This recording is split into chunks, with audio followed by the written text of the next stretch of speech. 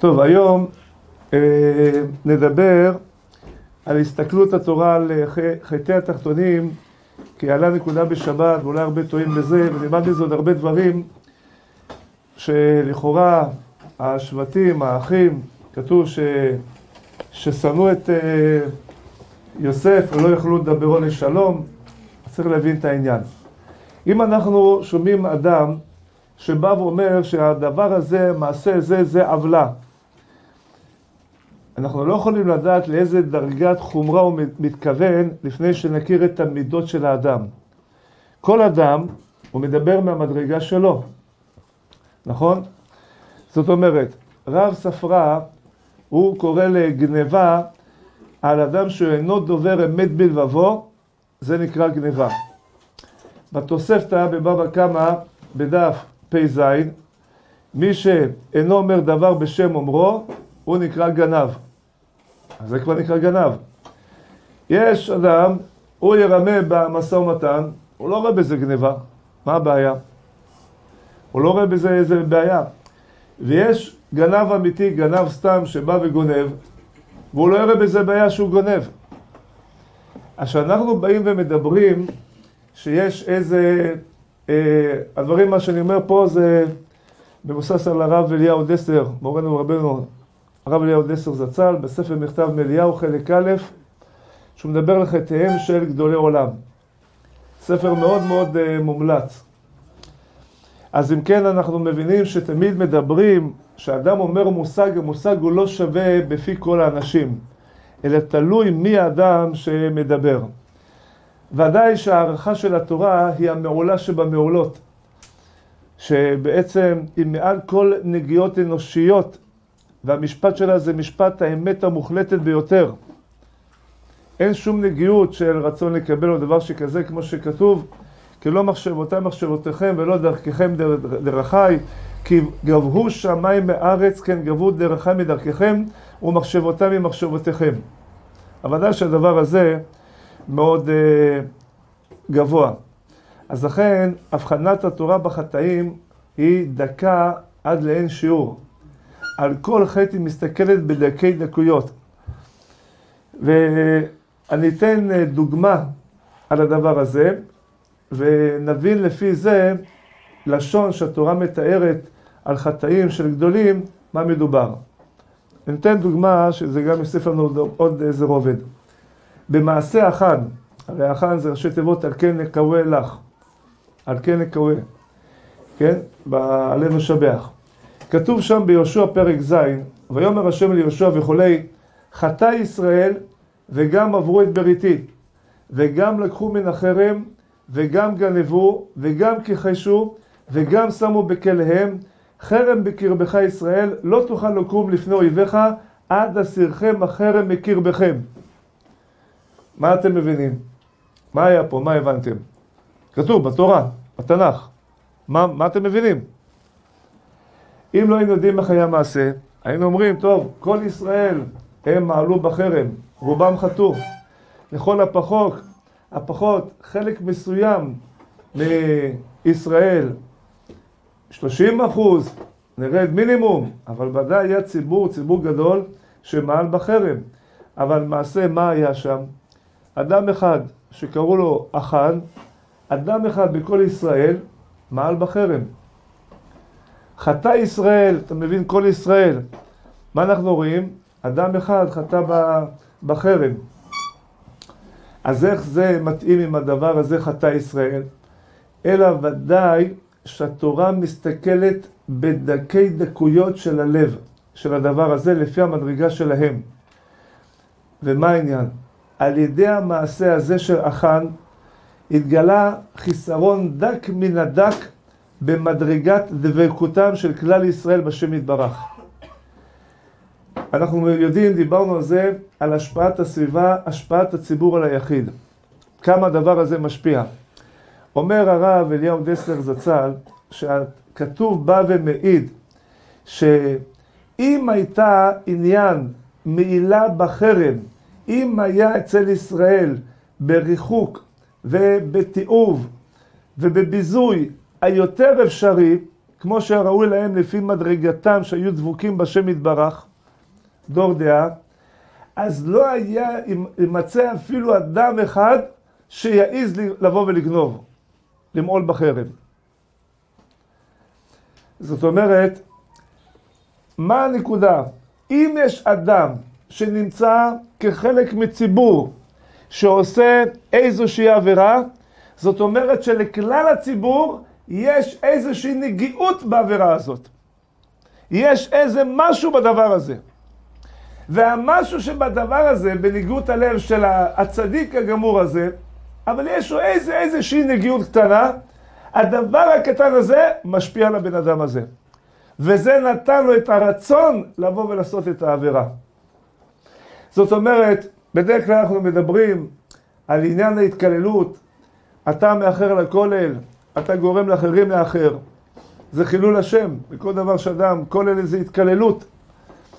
כולל בקבלה, בחלק ט' עמוד הספירות הוא מבאר שכל אלה זה הכוונה התקללות, אני מסביר את זה, שזה התקללות של הרבה פרטים שמביא לגמר תיקון, לכן זה בחינה שהיא תהיה מתוקנת בעתיד. אם אתם רואים בקבלה, יש איזה גימטריה, ובסוף יש איזה אה, עוד, הגימטריה לא בדיוק אותו דבר, מוסיפים עוד אחד ואומרים זה הכולל. זה לא סתם עניין זה הכולל, הכולל זה אומר זה כבר בחינה שהיא תהיה מתוקנת בעתיד. כי על ידי, איך, איך יש תיקון הכלל? על ידי תיקון כל הפרטים, אם מקב, מקב, מקבצים את כל הפרטים שהם יהיו מתוקנים, יש בעתיד בחינה מתוקנת כללית. כולל, אני מסביר השם, לעניות דעתי, יש התקללות. למה קוראים לזה כולל? יש התקללות של אחד עם השני, ואחד משפיע על השני. והמטרה היא שעל ידי ההתקללות, אחד יעזור לשני להגיע לבחינה מתוקנת. להגיע לבחינה שתהיה מתוקנת אצלו. ולא חס ושלום ההפך. יש כוללים למצטיינים. הרב עובדיה עשה כוללים מצטיינים. לכאורה תגיד מה, מה, למה מצטיינים? מה, תקרב את כולם. אם אנשים רוצים להגיע למדרגה, הם חייבים סביבה חזקה. הם חייבים סביבה טובה. אין אדם שלא מושפע מהסביבה. אלא אם כן הוא דבוק כל הזמן בספרים או ברבנים עובדי השם, שאז הסביבה שלו זו הסביבה שהוא בחר. הוא יכול להימצא בכל מקום, אבל הסביבה שלו היא סביבה יותר מצומצמת לספרים קדושים, שאז את ההשפעה ואת ההשראה הוא מקבל משם. אבל כשאדם, אה, אה, כמובן, אה, עושה מעשים שהוא מחליש את האחרים, אז ודאי הוא מחליש את האחרים. זה כל זה התקללות. אין דבר כזה אדם לא יהיה מושפע. אז אדם שהוא מגיע לכולל עושה או קידוש השם או חילול השם. ראינו פה אבל נקודה עמוקה יותר. נקודה שתלוי גם מה נטיית הלב שלך. אתה מגיע בזמן לכולל, אתה לומד את כל הסדרים מלא, ואתה יושב ולא מדבר שטויות, לא שורף את החיים, יושב ולומד, אבל איפה הלב שלך? מה נטיית הלב שלך? האם היא נקייה? הלב שלך הוא נקי? אם לא, אז אתה משפיע על אחרים. ואם לא, דנים אותך בשמיים כמו שהלב שלך, כמו, זה, זה כמו העבירה. כך מסתכלים על זה, לא אומר מדענים. אני לא יודע מדענים, אני יודע איך רואים את זה. איך התורה רואה את זה, איך התורה רואה את האדם.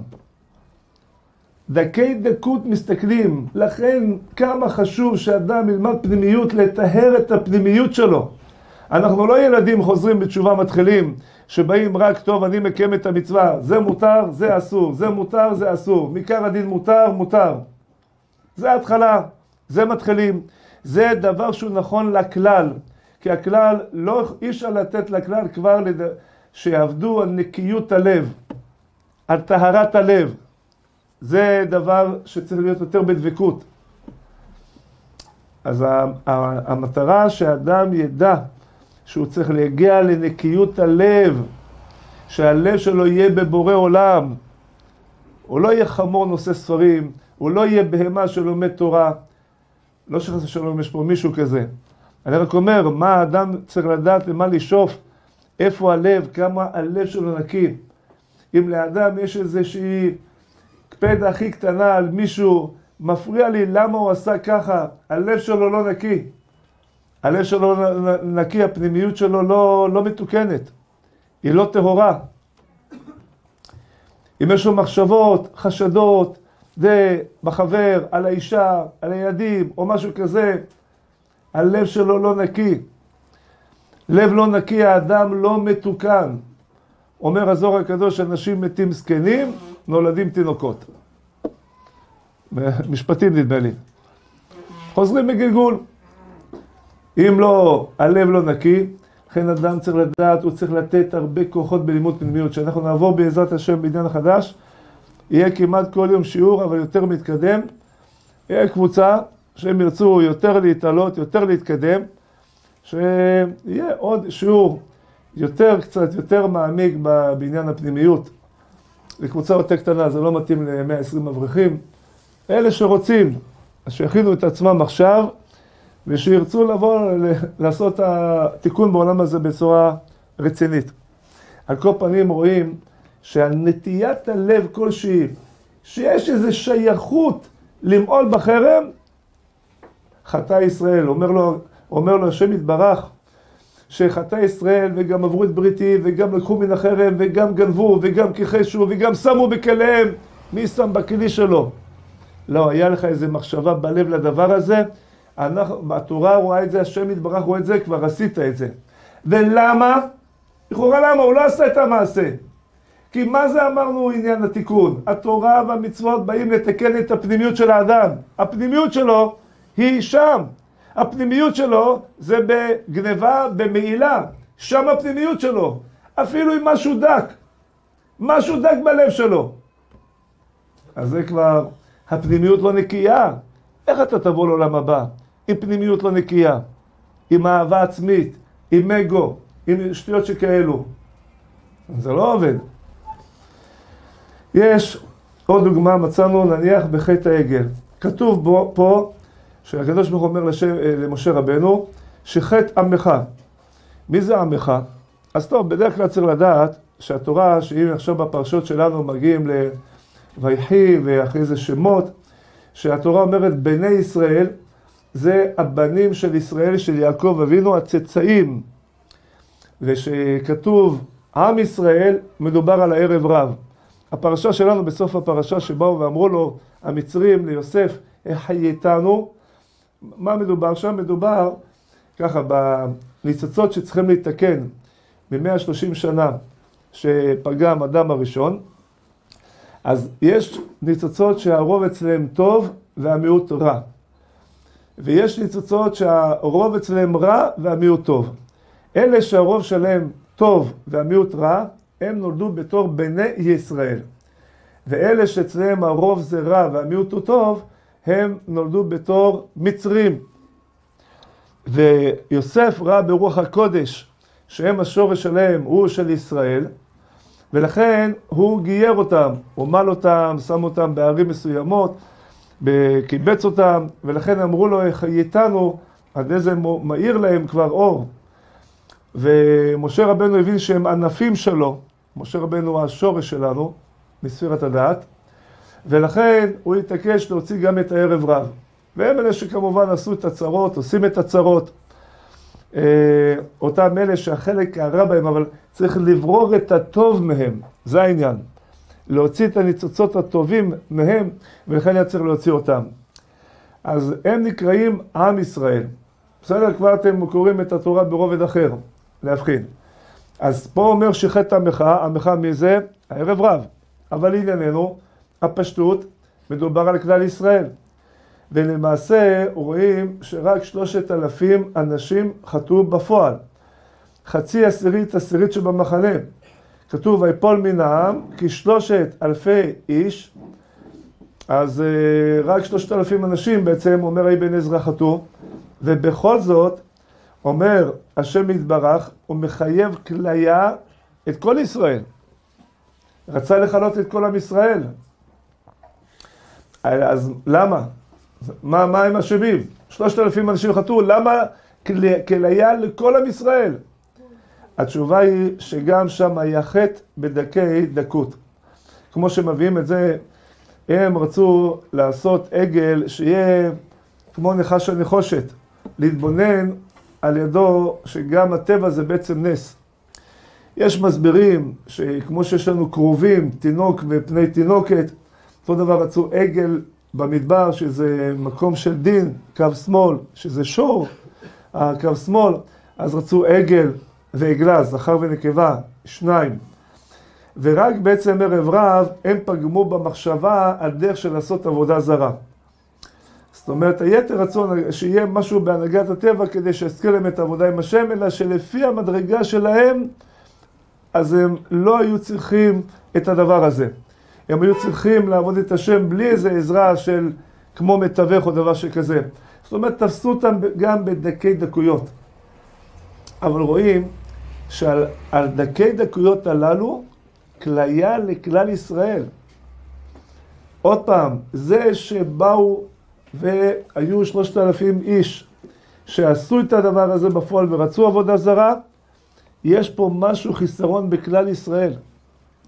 בכלל ישראל יש פה חיסרון. זה מובן לכם? או שלכאורה זה לא מובן? למה? ההוא ככה, מה אתה רוצה ממני? אני חושב, מה? לא, לא סיסמאות, אני רוצה הבנה. אז אני, אני חושב, חושב עכשיו שכל ישראל ערבים זה עדיין אומר ערבים, אבל אני רוצה הבנה. בסדר, אני באופן, שנייה, שהבנתי. אני באופן אישי, לא אני, יש אחד באופן אישי, הוא מושלם. מה אתה רוצה? השני הוא בצורה הזאת הוא פגומה, מה אתה רוצה ממני? נראה, נראה דבר כזה, יש, ש, ש, מה שאתה אומר כן, יש, אם אדם אה, מפריע לו משהו, הוא מתרחק ממנו. הוא לא נמצא בקרבתו, הוא מתרחק ממנו. הוא לא רוצה להיות שם. זה שאתה נשאר שם, יש איזה חיבור מסוים. יש איזה משהו שאתה יכול לסבול אותו. המשהו הזה שאתה יכול לסבול אותו, זה פגם בפנימיות שלך. גם אם אתה לא עושה את המעשים האלו. זאת אומרת, אה, אבל עוד פעם, גם אמרנו השפעה של הכלל על היחיד. יש השפעה של הכלל על היחיד. וכל אחד אחד הוא בא ומשפיע על האחרים. אז אה, רואים באיזה דקויות התורה מסתכלת על אה, כל דבר, וזה מה שהגמרא באה ואומרת במסכת שבת, בדף נ"ה, דף נ"ו, כל האומר ראובן חטא, בני עלי חטאו, בני שמואל חטאו, דוד חטא, שלמה חטא, אינו אלא טועה. אינו אלא טועה, הפשטות, הוא לא יודע ללמוד. מי שילמד בפנים ויראה מה שכתוב ממש, יראה שבעצם החטא הוא לא חטא, אבל בפשוטם של דברים, אם אדם מבין על פי קנה המידה של עצמו, אז הוא טועה. מבינים? כשהוא מבין את המושגים על, על פי קנה המידה של עצמו, אז האדם הזה טועה. כי מה שחז"ל דיברו, הם דיברו לפי הדקויות שבנפש האדם. אז גם פה מה שאומרים, אה, אתה יכול להביא לי פה שאר הפסוקים? גם פה מה שהאחים אומרים, שכתוב שהם שנאו את יוסף, אז כמובן, תעזור שם, אה, אז כמובן שזה לא שנאה שאנחנו מבינים שאדם של שנאה, אתה יודע, שנאה של עמי ארצות. אלא כוונה משהו, הרי הם היו צדיקים גמורים. הגיע עכשיו יהודה והוא אומר, כי כמוך כפרעה אומר ליוסף, אני אהרוג אותך, אם לא תעשה מה שזה, אני הורג אותך ואת האדון שלך, כמו שאומר רש"י. יש כמה דברים, או יהיה לך צרת, כמו שהיה לפרעה, שילקח את שרה ללילה אחד, הוא וכל בני ביתו, יהיה לך אותו דבר. הוא פחד ממנו, הוא לא ידע שהשם איתו. אני, את כל מצרים אנחנו זה, אנחנו רק מנומסים. כי הם היו צדיקים גמורים. והם היו בטוחים שכינה עמם. הרי הם באו ומכרו את יוסף, שכינה עמם. אז הם בטוחים כל השנים 22 שנה שהם עושים את הישר, הם עובדי השם אמיתיים. כתוב שהלוואי שהמצוות שלנו יהיו עבירות שלהם. זה השבטים הקדושים. והשבטים הקדושים שהיו דבוקים בתכלית הדבקות בשם יתברך, לומדים מהם את ההנהגות ואת הכל. אני יוסף. פתאום הוא בא ואומר להם, אני יוסף. בשתי מילים הם הבינו שכל החיים שלהם היה טעות. אדם בטוח בעצמו, אדם חושב, אני חכם, אני מבין, אני יודע מה אני עושה, שזה גם גאווה. שכתוב שהקדוש ברוך הוא מגדיל לפעמים את היצר כדי להוריד, להפיל את האדם, לא נותן לו את הסייעתא דשמיא כדי שיחזור לענווה. כי אם אדם סומך על הצדקות שלו, חושב בעצמו, בלב שלו, אני צדיק, אני תלמיד חכם או דבר כזה, זה כמובן גם בענווה. האדם הזה לא מושלם, צריך תיקון. אבל אני כמעט בטוח בעצמי שאני אבוא לעולם הבא, יגידו לי, אני יוסף. אני, אני כמעט בטוח שאני אהיה מופתע. מה, אני מושלם? מה, אני... מישהו יכול להיות כמו השם יתברך? כל עוד יש קצת איזה רצון לקבל, מה זה, איזה בושה. איזה בושה, איזה... איזה דבר נורא, כל החיים בטוחים והכל היה טעות ואין צדיקים גמורים, אז מי יכול להגיד בעצמו, אני יודע מה אני עושה, אני הולך בדרך הישרה, אני בסדר, שלא יגידו לי מה לעשות, אני, אני זה, זה שאני פה, מה, זה בסדר, אני מאחר, זה בסדר, אני עושה ככה בסדר, מדבר עם אשתי, זה בסדר, מתנהג עם הילדים, זה, מי יכול להגיד דבר כזה? מי זה השוטה שיגיד דבר כזה? צריך להיות טיפש גמור להגיד דבר כזה. מי אתה? מי אני זאת אומרת? מה אנחנו? עוד מתעסקים עם רצון לקבל? איזה רמה ירודה? תראו גדולי עולם, על איזה דקויות תופסים אותם. מה אנחנו? אין לנו עצה אלא רק שאדם יהיה דבוק כל הזמן בתורה. זו הסביבה שיבחר. סביבה שהוא יהיה דבוק בקדושה. ואז השם יעזור. הזוהר הקדוש אומר שאדם בדרך שהוא רוצה ללך, זה גם לא זוהר, כן? אה, רש"י עם בלעם שם בפסוק ל"ה, הוא מביא את הגמרא, אבל הזוהר אומר שבדרך הזו ממש מוליכים אותו. אם הוא רוצה לטעות, לטעות, אם הוא רוצה אה, ללכת בדרך הישר, מוליכים אותו בדרך הישר. אז אם אדם ירצה ללכת בדרך הישר, יוליך אותו בדרך הישר. ועוד נקודה אחת אני רוצה בעניין שקשור לעניין שעכשיו זה ימי השובבים בתיקון הברית שנעשה בלי נר שבוע הבא, שפה צריך להבין, אה, אה, פרעה קורא ליעקב אבינו ואומר לו, תגיד לי כמה ימי שנותיך, אומר לו מעט ורעים, קורא אותם מעט ורעים. למה הוא אומר מעט ורעים? מה העניין הזה? אז ידוע שאדם הראשון, הוא התגלגל בשלושת האבות, ולכן הם נקראים אבות על שם האב הראשון, על שם אדם הראשון. אז הנפש של אדם, בתיקונים זה מובא, תיקוני הזוהר, הנפש של אדם ראשון התגלגלה באברהם, הרוח שלו התגלגל ביצחק, והנשמה שלו ביעקב.